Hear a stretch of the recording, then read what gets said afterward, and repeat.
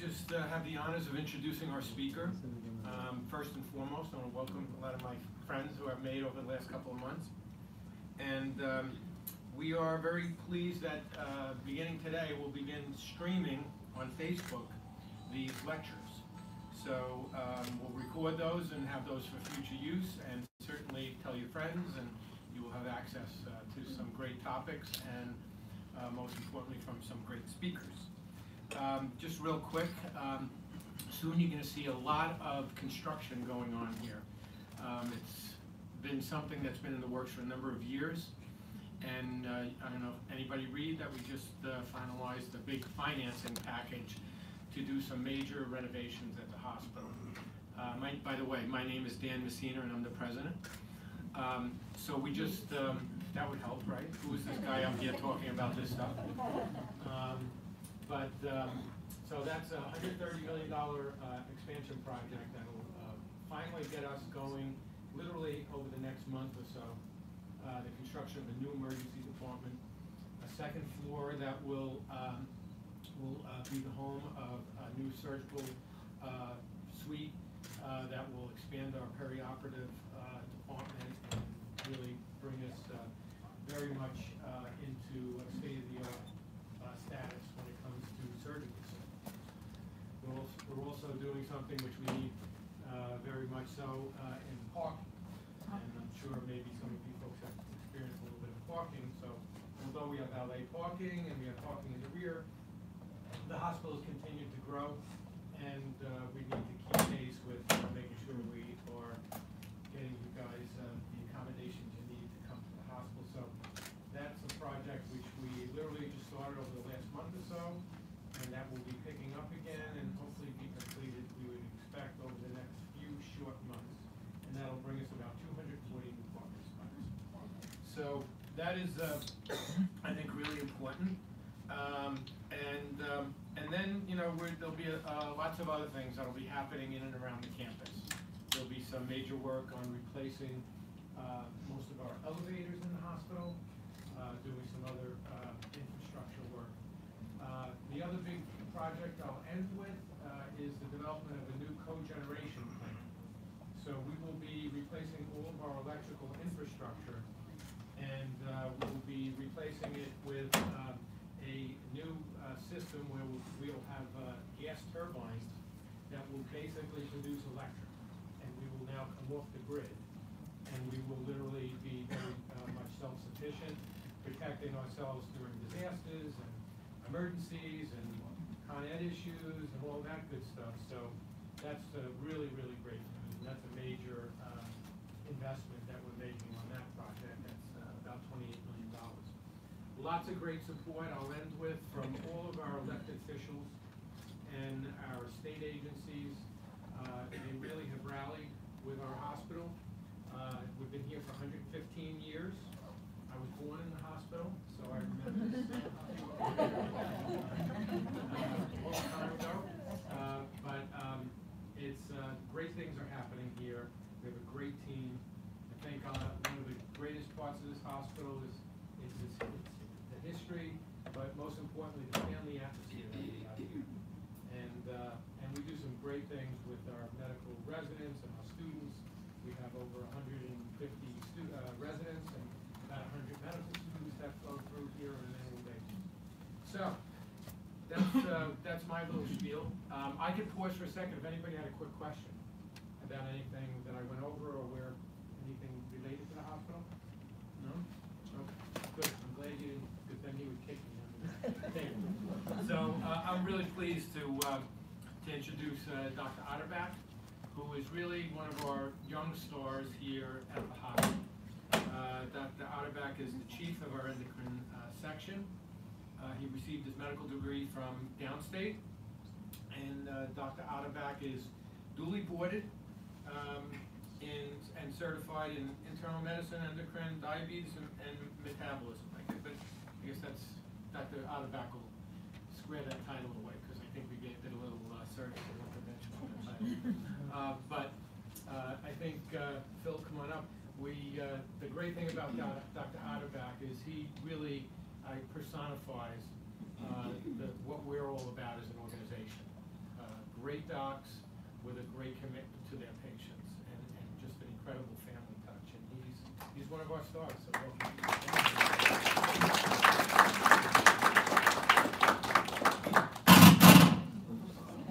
Sorry about that. Good afternoon. So, um, so I too was born actually in this hospital. Um, um, so uh, I, I want to thank everybody for coming. Thank you, Dr. Messina, for the introduction and all he's doing for the medical center. Um, and thank you to the development office for putting these talks together because I think it's important. Um, I can see only a certain number of people in my office every day, and I know I see a lot of my patients in the audience, and you know how busy it is. And this is a way for me to really get the message out about a disease state, both folks that showed up here and also uh, via the internet. So it's a it's a pleasure to have you, despite the uh, the difficulty with the weather today. So today we're going to talk about an important disease state, which is um, which is thyroid disease. And um, you know we have three endocrinologists here: me side here, and Dr. Wakina and Dr. Coudet. Those are the three endocrinologists uh, that, that we work with at the medical center. So when we talk about the thyroid, we're talking about a gland, right? And glands are, um, you know, there are different glands over the different parts of the body. You can see the hypothalamus and the pituitary gland. These are glands that actually sit in the brain. But the endocrine system isn't limited to the brain. We have the thyroid gland over here. We have the pancreas, which is in the abdomen. We have the, the, the, the gonadal system, the, the reproductive organs. So with, with men, of course, that's the testes, and with women, that's the ovaries. So really, endocrinology covers all, all these hormonal systems literally from head to toe. And how does an endocrine gland work? Well, it sends out hormones, messengers. So basically, something needs to happen in the body, and the glands secrete a hormone that goes to a target organ or a target structure. Let's talk about the thyroid, for instance. The thyroid releases thyroid hormone. And so the thyroid hormone circulates in the blood and finds its target receptor. And just take it for instance, the heart. The heart depends upon thyroid hormone in order to beat and beat at the appropriate rate. So the heart's got these receptors, thyroid hormone binds to those receptors and, and carries out a physiologic function. So as I said, it's a hormone, the thyroid is an endocrine tissue, means it secretes hormones, in this case thyroid hormone into the blood. Now, if you have too much thyroid hormone, right, too much, excess, that means hyperthyroidism. If you have too little thyroid hormone, right, it's hypothyroidism. Now, the reasons people have these different conditions we're going to talk about as we go, but but, the, but that's an important distinction to make. A fast thyroid is too much, and the, and the slow thyroid is too little. So the thyroid, I'm sure all of you in this room know, re- helps to regulate the body's metabolism and the metabolic rate. Now, metabolism, um, you, we, we understand, is a very, very complex set of chemical reactions that occur in the body. And if, if, if metabolism is this complicated, we probably understand this much. And I'm sure many of you have had this experience. You have see, you see people in your own lives that are naturally thin, and they eat everything in sight. And then there are some people that are a little bit on the heavier side, and they don't eat much at all. And you say to yourself, why is that happening? Why is that? How can that possibly be? And that is because we have different metabolic rates. Now, one of the things that controls the metabolism and the metabolic rate is the thyroid. So if the thyroid has too little circulating thyroid hormone, that's going to make your metabolism slower. If there's too much thyroid hormone circulating, it can make the meta- metabolism too fast. And important thing is that the thyroid has receptors all over the body from head to toe. So if you have too much or too little thyroid hormone, you can feel it from head to toe. So say for instance, how would you feel it in your gut? Well, if you have too much thyroid hormone, it can make you have diarrhea. But if you have too little thyroid hormone, it can give you constipation. So it's very important to determine how what the thyroid hormone levels are in the blood, and if the, the, the doses, if the dose of the medication needs to be adjusted. So where is your thyroid gland? I'm, I've been talking about this gland for a few minutes now. Well, where is it? Well, the answer is it's in your neck. And you can see for this patient, um, well, for all patients, it's beneath the Adam's apple and in front of the trachea or the windpipe. So what do you think would happen if that gland got too big? Well, it might press on that windpipe and cause people a problem, right? As you breathe in, you might not be able to get enough air in. So if that gland gets too big, it might need to be removed surgically. So what does that mean? Well, what is a big thyroid? A big thyroid is called a goiter. And you can see a picture of, of a patient with a goiter here. Now, usually we don't see these kinds of large, large goiters so much in this country because usually by that time we would have removed it by, by, by now. But these are patients that have usually live in countries with a severe iodine deficiency and they can't make thyroid hormone from their thyroid gland. So what, what happens? Well, blood tests go off and that causes hypertrophy or get the gland getting bigger and bigger and bigger, and this can cause compression of the airway. So that most likely this person would need their thyroid removed if it was due to uh, just the gland getting bigger and bigger. If the patient just needed iodine, you could maybe give this patient iodine and the gland would shrink. So the question is, are goiters dangerous? Patients come into my office all the time and they'll say, doctor, my gland is big. And I'll say, well, and they'll say, well, is it a problem? Does it need to come out? And I say, well, honestly, I don't know. We've got to figure it out. And how would we figure it out? What would we look at? Well, sometimes glands can be big for a reason. Forgive me, I'm sorry. So sometimes glands can be big for a reason. That is, they're inflamed by antibodies. Um, and that could reflect a fast gland or a slow gland. Fast and slow can both be big, even though they're the opposite condition. Fast and slow can both be big. But if you rule that out, and you have a big gland, then it's a cosmetic issue. And I tell patients, you know, thyroids are like noses. They come in all shapes and sizes. There's not a why of the matter. It's just they happen to be different shapes and sizes. But sometimes when they do have a deficiency of thyroid hormone or their thyroid glands are too fast, then we have to treat those patients with some medications. So has anyone ever seen a patient like this where they have the really big eyes and a big thyroid gland down here? I'm sure you've seen some pictures, at least some pictures. And these are patients that have what they call Graves' disease. Graves' disease is a fast thyroid. And what, how does Graves' disease happen? Well, you have antibodies called TSI antibodies, and they bind to the thyroid gland, cause an inflammatory response, and they stimulate it. And that overstimulation of the thyroid gland results in an excess of thyroid hormone circulating in the blood. And when that happens, patients can get a variety of symptoms that we'll go through in a few moments. So these receptors for these antibodies are also behind the eye. So not only do you get an excess of thyroid hormone in a big thyroid gland, but these the antibodies bind the receptors behind the eye and push the eyes forward, and you get what they call, well, here they're labeling it bulging eyes. We call it ophthalmopathy, fancy word to say bulging eyes. This can be controlled and treated, of course, but this is what they call Graves' disease. Now, what does it feel like? How would you know if you had something like this, or at least to ask about it? Well, if you have an excess of thyroid hormone, as I said before, you can have symptoms from head to toe. So what are those? Anxiety, irritability, trouble sleeping, weakness in your extremities, tremors. Patients come to me and I, I always make them put their hands out when they come in with this, and they shake like this. Sometimes I'll ask them, when you write with a pen, does your hand shake? And they'll say yes. Perspiring more than usual. Difficulty with hot weather, right? So they, they go out in the heat and they feel hot, but they feel hotter than the average person. And they, they literally can't stand it, they have to get into air conditioning. That can be a sign of hyperthyroidism. You can also have rapid heartbeats or palpitations. Your heart's beating out of your chest. That can be a sign.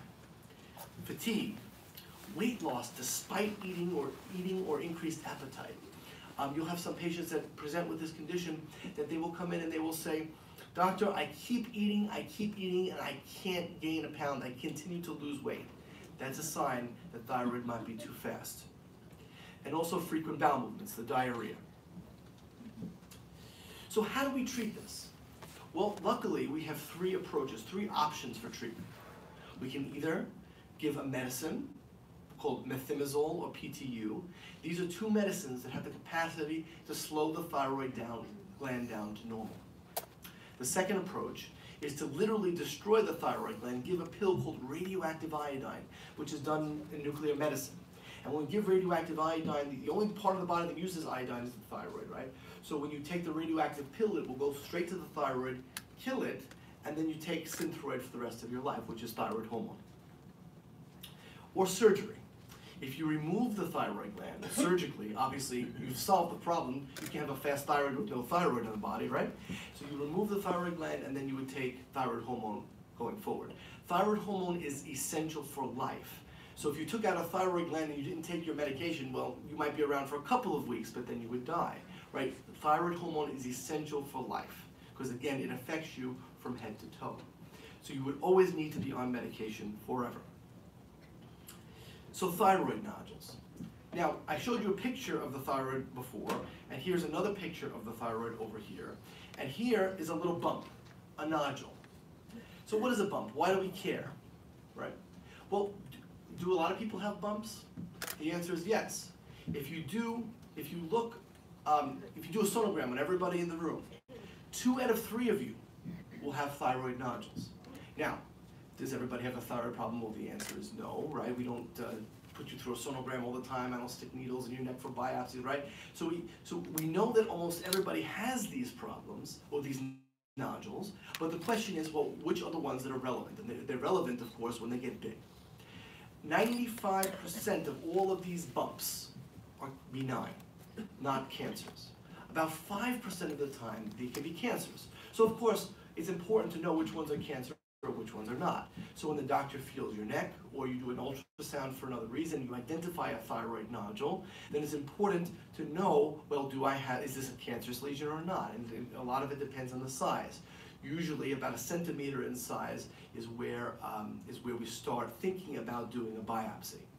Um, a centimeter, um, obviously, is maybe the, the first knuckle on your finger, if, for those not familiar with that term. So um, in any case, so, so about 5% are cancer, most of them are benign. We follow them sonographically with sonograms if we've biopsied it, and everything turns out to be benign. Sometimes nodules can cause another problem. They can produce too much thyroid hormone. And in those cases, patients become hyperthyroid because of that nodule. And those patients we can control the same way we control the other patients with some medication and plus or minus surgery. So what does a slow thyroid look like? A hypothyroidism, right? A slow thyroid, again, is, and there's a theme here, antibodies. We talked about the fast thyroid being caused by antibodies, and here's, the, here's another situation where a slow thyroid is being caused by antibodies. The antibodies are binding to the thyroid gland, again, causing an inflammatory response of the thyroid gland, and then killing the cells of the thyroid gland. When that happens, the thyroid begins to slow. This is called Hashimoto's disease. You know, those, the fast thyroid is called Graves' disease. This one is called Hashimoto's disease. So when the thyroid gland slows, you take Synthroid going forward for the rest of your life, right? Now, how would you know you have a thyroid problem? What symptoms would you be complaining of? Well, symptoms would be lack of energy, getting very cold all the time, developing coarse or thin hair, getting constipated, right? And you know the thing about all of those symptoms you look at them and you say, well, that kind of sounds like me. Well, that definitely sounds like me. And for me, the, the, the thin hair definitely is me. But, but, but, but the idea is, is that, is that not everybody that has those symptoms has the disease. So it's important to not only tell your doctor or tell your provider about your symptom um, and, and, and say, but but it's important to actually have the test to see if you have that particular clinical condition. And the great part of it is it's pretty easy to test for in the blood. So, as I said, uh, you take your thyroid hormone. Um, it is it is an, it is it's fortunately not like insulin. Insulin is an injectable medicine. This is a hormone that we can take by mouth, so it's much much easier for our patients to take. What's very important with thyroid medicine, and I know some of you are my patients and are to take this medication, it's important to take that pill on an empty stomach 30 minutes before you eat or drink anything else. If you're taking calcium, it's important to separate that pill by four hours, right? Do not take the pill at the same time as your calcium because you will not absorb the pill and you won't get the clinical and biochemical benefit in your blood. Okay, so many, many folks that have thyroid disease happen to be young ladies, right? And one of the things that they come in and they're panicking about is, can I get pregnant if I have this condition? And the answer is absolutely. But there are things that we need to do prior to pregnancy so that we optimize your chances for having, a, a, having and sustaining a pregnancy. We have to check the blood work before pregnancy, ideally, and if the dose needs to be adjusted, at that point, it'll be important to adjust that prior to conception. Because if, if you have um, a thyroid that's out of control when, when you're pregnant, it can cause two problems. One, it can increase your risk for miscarriage, which is a, a difficult thing for patients. And secondly, the baby's intellectual development depends upon having the proper amount of circulating thyroid hormone. So consequently, if you have this problem, it's important to speak to the doctor and make sure your levels are perfect prior to conception. Are there any natural remedies, right, for, for thyroid disease?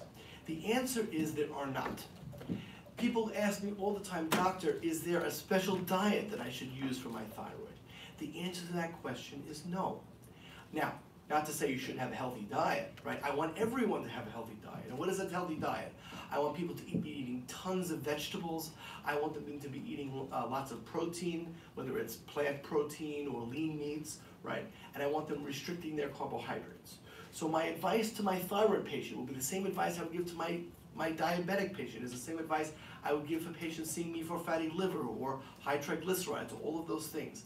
High vegetables, tons of vegetables, lots of protein and carbohydrate restriction. So is that going to help your thyroid? Probably not, but it will help every other part of you.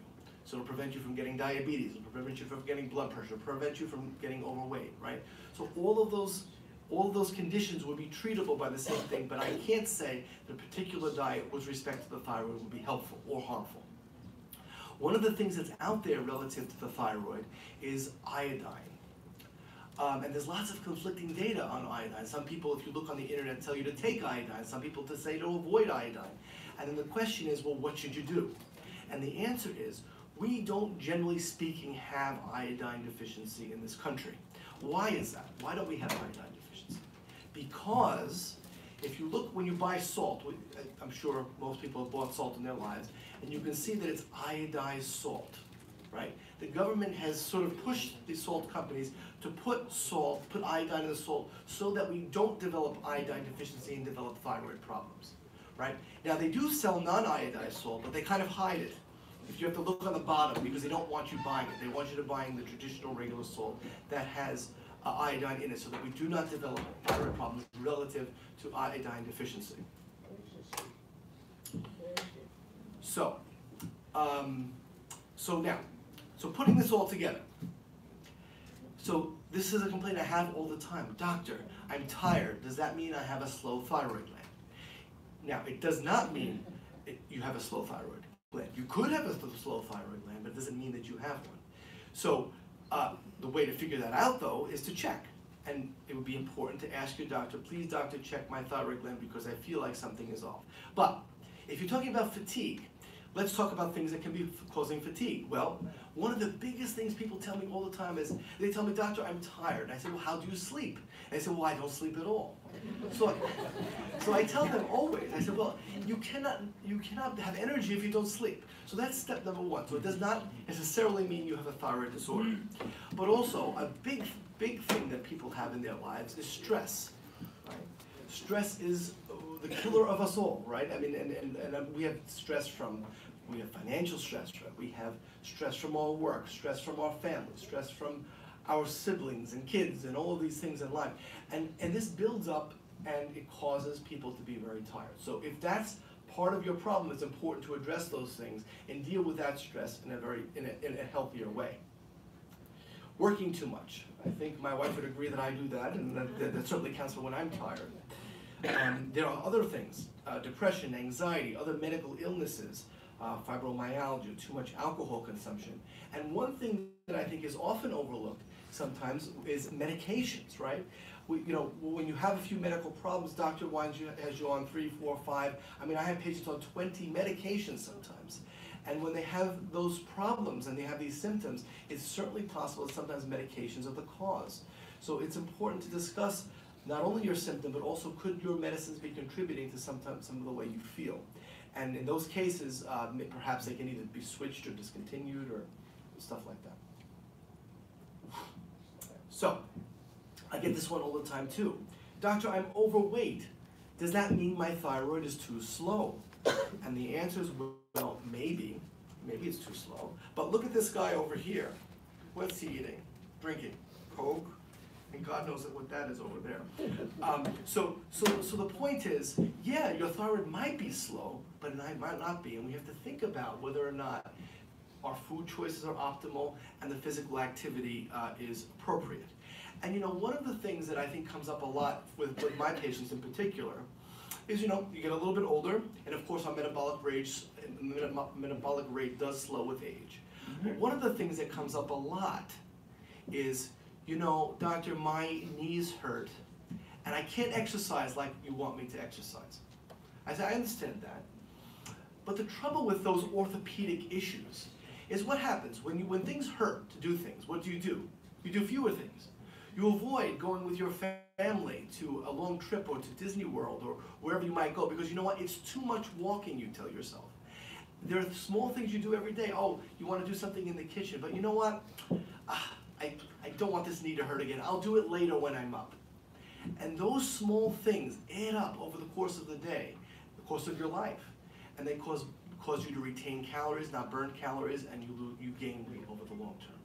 So the trick is, if you've got a solvable, solvable problem, if you've got that foot surgery you've been putting off, or you maybe, get, maybe the doctor told you you really, really, really need to have your knee replaced, that will help your weight, and that'll help everything else when you're more active and you're more physically active. So it's important to think about weight not only as food and output, but what are your barriers to exercise? What are your barriers to movement? And sometimes orthopedic issues can be a big problem.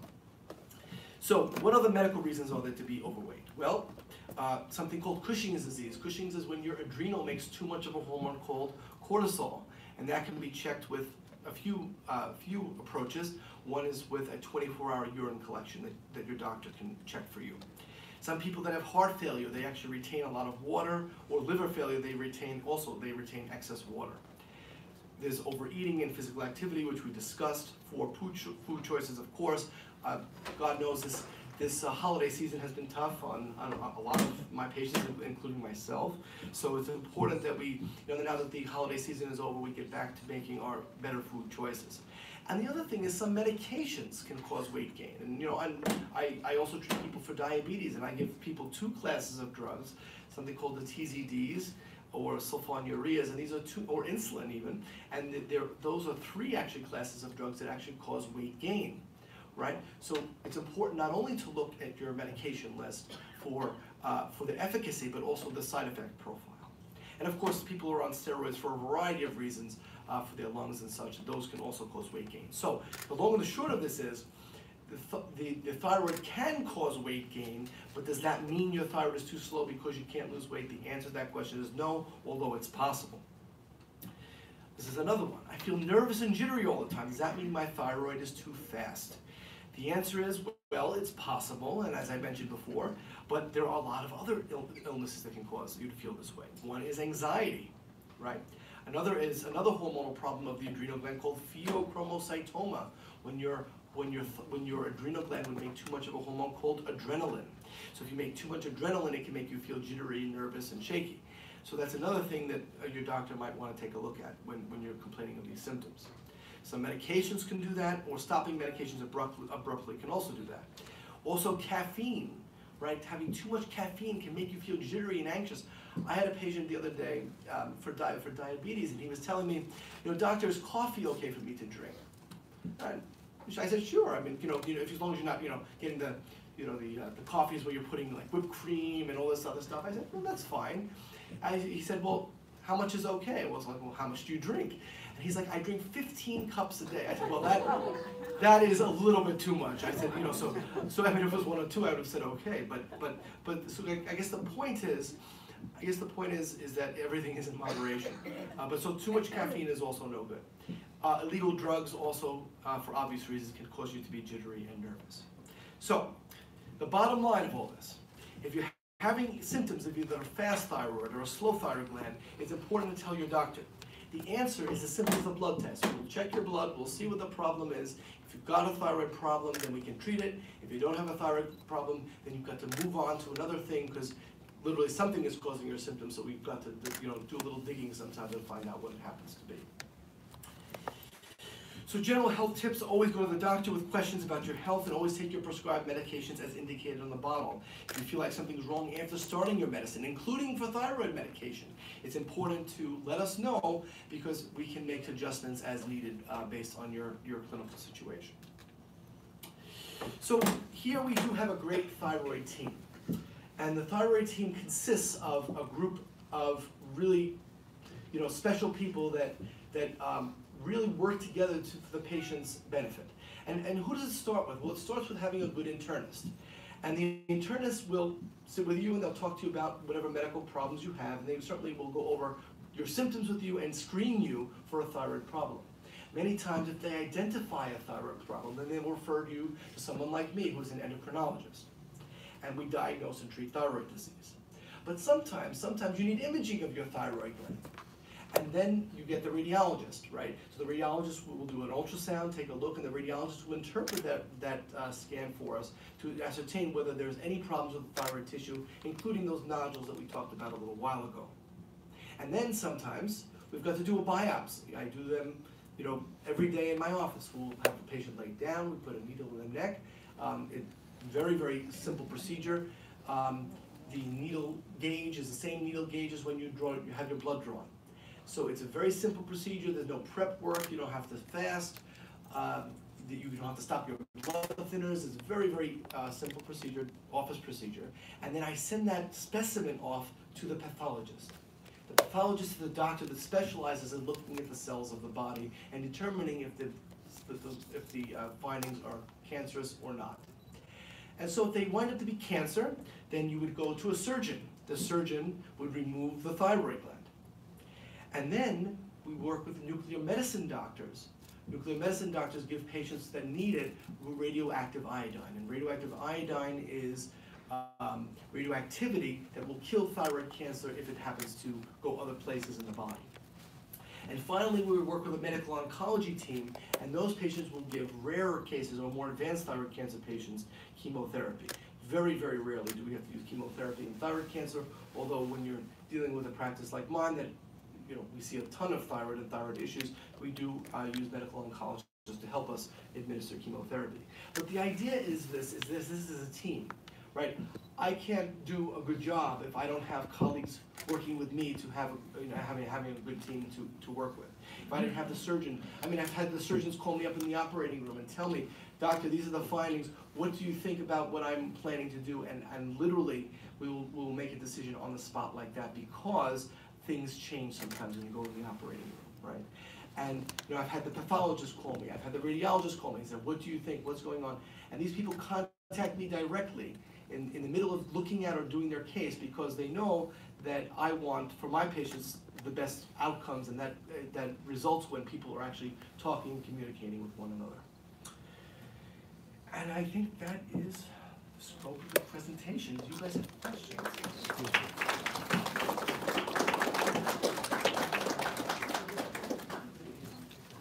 We'll start with the Okay. Yeah. Um, is there a hereditary component in thyroid?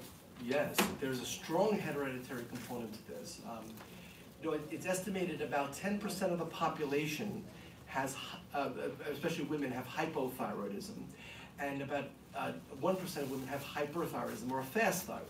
And you can see this generation to generation in patients, and almost always, when I have a thyroid patient, I will ask them, do you have a family history? Anybody in your family, especially first degree relatives, anybody has thyroid disease or not only thyroid disease, but also a history of autoimmune conditions. And what are autoimmune conditions? Type 1 diabetes, uh, rheumatoid arthritis, lupus, Sjogren's syndrome. Um, these are all conditions that are associated with um, um, thyroid disease. And yes, there's a strong hereditary component.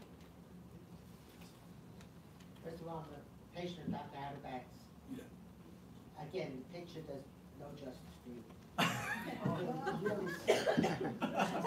More handsome in person, right? What do you make of this? Uh, What do you do for a sluggish thyroid?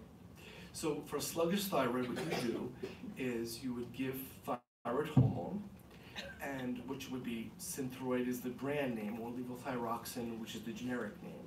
And we would increase the dose as clinically indicated by the levels and the patient's symptoms. So we increase, increase, increase, and then we make sure the levels are within range. Once you, once you get the levels within range, and uh, then you've got to determine, does the patient still have symptoms? And the answer, if the answer to that question is yes, we have to make sure that there's not other things going on. And one of the things that mimics thyroid disease a lot is, and I, and I always ask patients this when they complain about persistent symptoms, is sleep apnea. One of the things that people complain of with their thyroid is, I'm tired and I can't lose weight. Very common, almost all the time. And what I ask them is, do you snore at night? And many patients will say yes. And I say, okay, so in that case, we have to look into other problems that could be causing some of your symptoms, and that would be one of them. There's a whole host of others, but, and, and of course, you, you do that with, with blood work and, and different tests, but that just commonly is one of the things that comes up in practice. This is the medication that you have to take for the rest of your life? Thyroid medicine, well, with a slow thyroid, it is, it is forever. With a fast thyroid, and I, I remember if you, a little while ago, I gave you those three approaches to thyroid patients. You could either give radioactive iodine or surgery, or thyroid drugs that slow down the medication.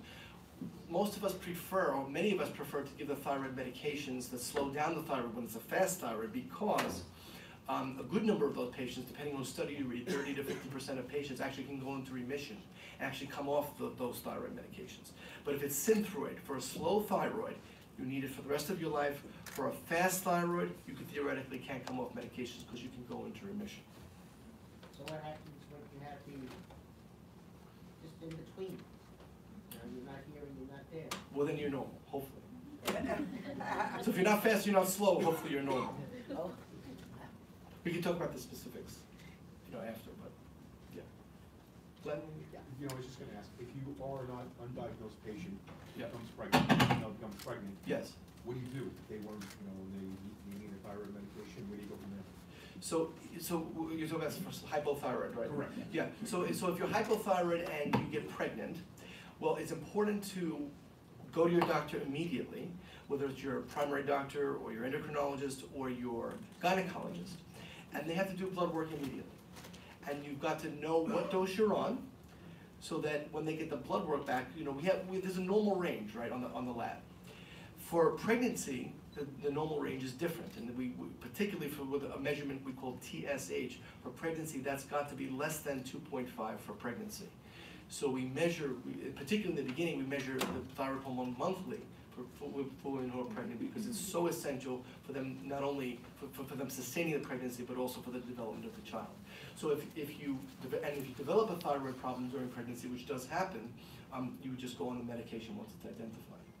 But what's interesting is that they, you know, most of the societies don't recommend checking, uh, the gynecologic societies. So, so the, the problem is not all women are screened for thyroid disease, so you can miss some, because there really is no strong recommendation for professional societies to screen everyone, right? What else, guys? Yes? Um, how old you can get excited? Young age, Mm-hmm. or have something, which age? It's a good question. What is the question? And what, yes, so, so the question is, what age can you get a thyroid problem? And you can get a thyroid problem at age zero when you're born, right? In fact, every child born in this state is checked at birth for a thyroid problem. Because um, if you, if you, you don't have a thyroid, some, some people are born without a thyroid, then we really no other way to identify it. So every child at birth is checked for hypothyroidism. And there are infants, one or two days old, develop this problem, and they have to take thyroid medicine their whole life. What happened, uh, and of course, I'm an adult physician, right? So um, I, I'm seeing adults, but kids, you know, 10, 11, 12, can develop hypothyroidism, and, and most of my patients are developing it anywhere from their teens all the way up to, you know, up to their 90s, right? So, yes. But nobody know the thyroid was thirty, forty years ago. So how do we know if we were born or not? Well, th- probably thirty, probably thirty and forty years ago they did know, but there, but you're right, to, you're, to your point, there's a time when they didn't know, and there really weren't tests for this. And, um, and then you see, uh, the folks with those big goiters on physical exam, right? But there were all sorts of diseases, really, that people just died of, right? Um, what did we do, you know, for instance, with patients, you know, type one diabetes, right? Type one diabetes was a disease, well, it's, it's a disease where patients need insulin to live. And what did we do years ago for those patients when we didn't have insulin? You know, not too long ago. It was a certain death, right? It was nothing to do with those patients, for those patients. Terrible. But now, thank God, we have a, we have effective, safe treatments for them, with- which is insulin. So, yeah, there were people that died of thyroid disease all the time because we didn't have a modality and approach to treatment of those people. And the thing is, we didn't, may not even know what they died of, we just knew that they were dying. You could, you know, you know, the, the doctor would come and see them and, you know, they I mean, I, I think everybody in this audience is too young to remember probably, but like house calls, right, the doctor would come and see the patient, and they would, and they would, there was nothing really they could do for those patients sadly, and they would just pass away, they would say, okay, they're, you know, they're dying, right? So, so the idea is, um, um, we've advanced thankfully, and now we have appropriate treatments, but there were plenty of people that just felt terrible. Maybe they had enough thyroid hormone to keep them alive, right, but they just felt miserable, and they, because they didn't have enough. And that's what we're trying to do, we're trying to figure out who needs treatment and who doesn't, and make them feel their best, right? Both from a biochemical standpoint, the blood work, and from the clinical standpoint, how they feel. I come from my family Mm. there. Sometimes I wanna know the history, Yep, but they, they nobody know. yeah, a lot of people, I have a thyroid, and I ask a question. Yeah. I don't know. Yeah. Some people, they don't even know what a thyroid is. Yeah, uh, some people um, don't like to share their health information and uh, with their family, and I'm not sure why that is. It, privacy, or they just don't want people knowing their business, whatever. I usually think it's a very poor idea not to tell people what you've got because it helps them, right? It helps them to know what a family history is, and not only for thyroid disease, but also for heart disease and diabetes and cholesterol and all these things. Cancer. The, the cancer, right? So all of these things are important. If we don't share the information, Exactly. You know, no, right? yep. So it's unfortunate when that happens. Because when you go to the doctor, they wanna know the history. They want to know. I don't have to know history. Yeah. I don't gotta find out. I know, it's a challenge, it's a challenge. But you- now you have, you have your own children, right? So now, so at least you have your history you can give to them and they can share their history with you. The Yeah. information to the next generation, Yes, my family. yes. But my husband and I, we struggle to find out. What's the Because story? the- Nobody knows the family. You're right. Yes, this thyroglobulin powder and no symptoms, how Yep. frequently you have to really check the patient? so y- your question is if you have elevated thyroglobulin antibodies, and how often should you check the patient? Well, the answer is, when they're symptomatic, so, so the answer to the question is really whenever. So when I have patients like that, I tell them, look, I'm gonna see you every six months and I'm gonna screen you every six months for deterioration in your thyroid function, because I know your thyroid is going to be slow, you're not there yet, but it's going to be slow. But if you ever feel X, Y, or Z symptoms, call me. Now, the problem with, tho- with that approach is that uh, patients have a lot of these symptoms anyway. They feel tired, they feel constipated, they, but I tell them, you know you. You know, you've been you your whole life. You, you know when something is not yourself. And if that's the case, you- here's a lab slip, go for labs. You don't even need to call me. Go for the labs, and then I'll call you and I'll let you know what the story is. So I always say, every six months or as needed. Yep, yep. What food contains iodine other than salt? Salt is really the main source of iodine in our diet. So there are a lot of other foods that have it, but it's really minuscule. And that's why it's been so important for them to put it into the salt because, uh, you know, because we need it. And furthermore, I mean, multivitamins can have salt, I mean, excuse me, have, can have iodine in them. But really, dietary sources of iodine have very, very small amounts and certainly not enough to sustain what we need. Because if you have high blood pressure, you have to watch the salt. That, that, oh, that- that's, it- that's exactly right, that's exactly right. But the, the amount that you need is, is not much. So, uh, and that's, that's the point. Because we, we heavily put the iodine in, all you need is a little bit of salt in your diet and not much at all. And, and, and, and listen, anybody that eats out e- anywhere ever, you, you get enough salt because they pour the salt on, so you'll get enough. Yes, oh, yep, I'm sorry, yep, have a rather unusual thyroid problem. Yes, At age forty-four, an endocrinologist found the problem, Hmm. and I had uh, half my thyroid removed. yes, And um, I took Synthroid for thirty years. yes, Sixty milligrams and then s- eighty-eight milligrams. Yep. She was retiring in June, I went to the see her one more time, yep, and she said, there's a problem, I want you to go to Mass, I want you to go to Sloan Kettering. Yep. And see Dr. Long. Yep. Actually, it wasn't Dr. Long, it was someone else, but he wasn't available. Yep. I said, why after thirty years would I have a problem? I've never had a problem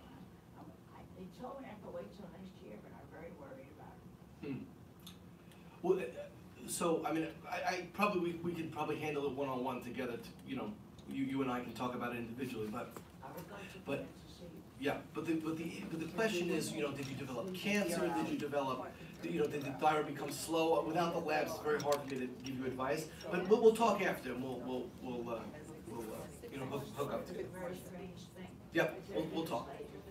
Yep, Um, I think that one of the side effects of levothyroxine Yes. is a bone thinning over a period of time. Yes. So what do you do in that case if you have osteoporosis? so this is actually a great question. Um, you know, and, and this is, um, this is one of the challenges of, of prescribing medications, because they give you that thing at the pharmacy which lists a million things of how the medicine can kill you, right? Yeah. And, um, and you know, if you read it, you say, oh my God, was this guy crazy giving me this medicine? No, so, so, so the, uh, the, the medication thing, the, the, the, the insert tells you, talks about osteoporosis and thyroid medication. And that is true if you're overtreated. So meaning, if we're giving you too much thyroid hormone, so say you need fifty and we're giving you hundred, and we're giving you those symptoms, palpitations and anxiety and tremors and all of that, that causes increased bone turnover, right? And causes thinning of the bones and osteoporosis. But if you're taking the medicine and the levels are normal and they're consistently normal, there is no reason to believe that the medicine should cause osteoporosis. So, um, so if the circulating hormone levels are correct, then this doesn't cause osteoporosis. But if it, you're being overtreated, then yes, it can cause osteoporosis. Good questions. All good questions. Yes. Can you take Synthroid Yes. with antidepressants and vitamin D? You can take them in the same person but not at the same time. So meaning, um, a person can be on antidepressants and Synthroid and vitamin D, but they cannot take them at once, the same moment. The reason being is because those other medicines will obstruct the absorption of the pill. Synthroid or levothyroxine, which is the generic name, needs to be taken once a day, every day on an empty stomach, uh, because the other medicines will interfere with the absorption of the pill. Now, I have some patients that tell me, doctor, I have been taking it this way for 30 years and my number is perfect. I, and, I, and I usually tell those patients, well, don't mess with perfection. You know, so if you're taking it that way, you're absorbing the right amount, then fine. But generally speaking, taking the medicine concomitantly with something else, it will prevent the absorption of that pill. Mhm. Yes, Thyroid cancer, yes, uh, I understand it's prevalent on the island. yes. Um, what, what are the statistics as compared to the city, and how, how treatable is thyroid cancer? Yeah. So actually, Advance did an article on this uh, issue about, well, it must be two or three months ago, I don't know if you took, if you had seen it. We do have a much, much higher rate of thyroid cancer relative to New York City and in- in particular relative to our colleagues or friends in Brooklyn and Manhattan. And, and the reasons for that um, aren't entirely clear. Um, Is it environmental? God knows. I mean, we had the dump for a while. We had we had we, we, these these winds that people hypothesized from from New Jersey. I don't have an answer to that question. I know that what I do know is that people in Staten Island, thankfully, go to the doctor a lot. And when you go to the doctor, doctor examines you. And when you go to the doctor and he examines you and feels something, sends you for a test. And then he finds something. So we don't know whether or not it's a truly higher prevalence of this disease in Staten Island relative to other places. We do know that the numbers are there to support, you know, higher um, numbers of patients, but we don't know if they're being screened systematically the same way. We don't know the level of care they're getting in other boroughs. So it could be that we're, we have more doctoring going on here relative to other places. And um, if you don't look for something in life, you don't find it.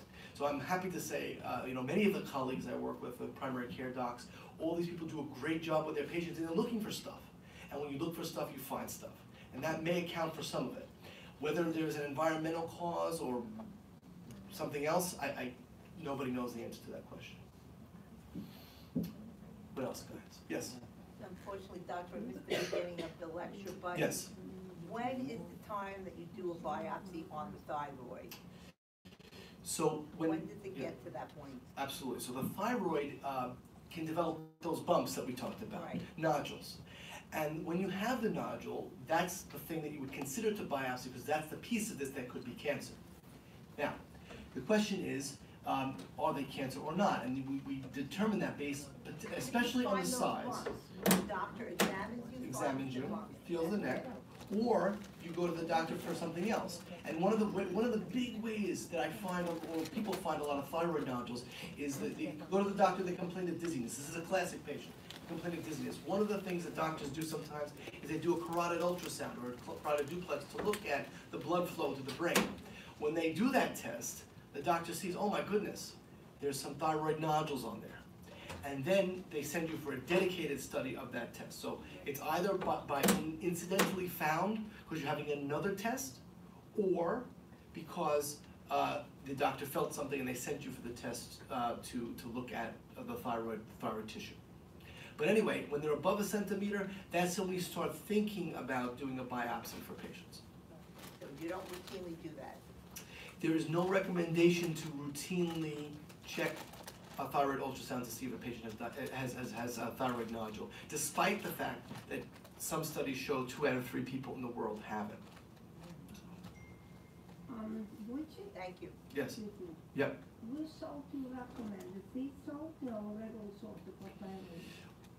Well, so, so, um, I would recommend any salt that's got iodine. So my understanding is sometimes with sea salt, they don't have iodine inside of it. So I would recommend regular salt. Having said that, please restrict your salt. Don't go crazy with salt. I don't want everybody going into their, uh, doctor, Dr. Otterbach told me to have, uh, lots of salt and the blood pressure is like one sixty over hundred. Please don't do that. I don't have to worry about it because my tendency is a lot. Low blood pressure. When I went to the doctor, said, oh no, said, you gotta eat a lot of salt, the sardine, uh, oh, uh, the olive, Yeah. the light salt, because my blood pressure was. On the low side. Yeah, But then I got swollen foot. yes. Don't go, don't go too much with the salt. Somebody over here, yes. Um, I heard, and I don't know if there's anything to it, so I'm asking, the difference between synthroid and levothyroxine. Yes. I know levothyroxine is the generic, but I heard that, that levothyroxine is definitely not as effective as Mm. synthroid. I don't know. So the FDA, when, when you make a generic drug, the FDA explicitly allows a difference in the potency of the drug, right? You can't make two, you know, you're trying to make an apple pie, right? You don't make it have the same, exactly the same twice, right? It's a- always a little bit different. So when the company, the generic companies make a formula, it's not exactly the same as the brand, say Synthroid, which is the brand that you're talking about. So it's never going to be exactly the same. So my philosophy with it is if you're on the brand, I leave you. If you're doing well with it. If you're on the generic and you're doing beautifully on it, I leave you on it. But if there's a question of whether in an individual patient the potency is fluctuating or the, or the numbers are fluctuating with, and the patient is taking their medicine consistently, those are the patients, generally speaking, where I would push them to try the brand. I, I have a general philosophy in life of not to fix things that aren't broken. So, uh, so if things work well for a patient, fine. But, but, but the point is, if you're struggling, that's, that's a situation where I would push you to definitely, uh, try the, uh, try the brand and see if it makes any difference. Yep, Um, I took Thyroid, had for like twenty years. yes. I noticed you didn't talk about that at all. So Armour Thyroid is an interesting drug. Armour Thyroid is, um, it's actually what we used prior to, uh, having thyroid hormone in Synthroid, or levothyroxine. Armour Thyroid is desiccated pig thyroid. So what they do is they, uh, take pig's thyroids and they, uh, put it in a pill. And, um, and it is an effective treatment. It is approved to be used there. It's not standard, and what we do generally with Armour Thyroid, uh, well, most, most people, we use is, is the levothyroxine, and we give patients what they call T4, which is the main hormone that the thyroid makes. So if the thyroids aren't working well, we replace what they're not making it with T4, and we let the body convert what it needs to the other hormone that you need, which is T3. When you take Armour Thyroid, it goes around that process and gives you both T4 and T3. So there are some patients that will say, I feel better with Armour Thyroid, which has both T4 and T3 in it. Um, It's important, like any other treatment that you would use for the thyroid, to make sure the levels are good. Because if we're over or under treating the patient, they're not going to feel good. They're gonna get all the symptoms of hypo and hyperthyroidism. So I certainly don't object to patients taking it. Uh, if certainly they wanna try it and somehow they feel better with it. That's fine with me, so long as we're getting our levels to where they need to be and I'm not giving you symptoms of too little or too much hormone. What else? One more? Yep. Uh, I have what they call the neuropathy, Neuropathy? Yes. does the thyroid have anything to do with that? Not typically. Typically, um, you know, neuropathy can be caused by diabetes. It can be caused by uh, vitamin deficiencies. It can be caused by a few other things. So, uh, but not generally speaking, would neuropathy be caused by this unless your levels were really, really out of whack. Um, and then, um, but yeah, What numbers do you look for? numbers uh, for the thyroid. So we're looking at the circulating hormones of thyroid hormone. So the three main blood tests that you know are checked. uh, Well, there's thyroid antibodies, which can tell you whether you have Graves' disease or Hashimoto's disease. That's one type of antibodies. And then there are other measurements of thyroid hormone. Um, one is TSH, one is T4, and another one is T3. Like we were talking about with the Armour thyroid, um, T3 is you know, the hormone that, uh, that is in Armour. T4 is the one that is in uh, uh, synthroid or levothyroxine, and then the TSH is a global assessment, the most important value with respect to how we monitor and measure uh, people's uh, treatment and or screening for them, screening for them and treating their thyroid disease. When I gave, uh, the blood work to the TR Yep. uh, they said they have to look at the numbers. Yep. So how do you know what the numbers, they'll tell you, this is such a thing as numbers or? So the numbers, um, uh, what what I think what they probably meant, uh, was that the, the, the, the the hormone levels, as they relate to the normal ranges, that's probably what they meant. So when they say the numbers are normal, that what they're saying, I think, is that the levels are falling within the normal range. So, so that would be a good thing. What are, what are numbers? They're the levels, the actual hormone levels in the blood. So when we say the numbers are normal, that means we've measured the whole circulating. No? Well, it's a pleasure to see all of you.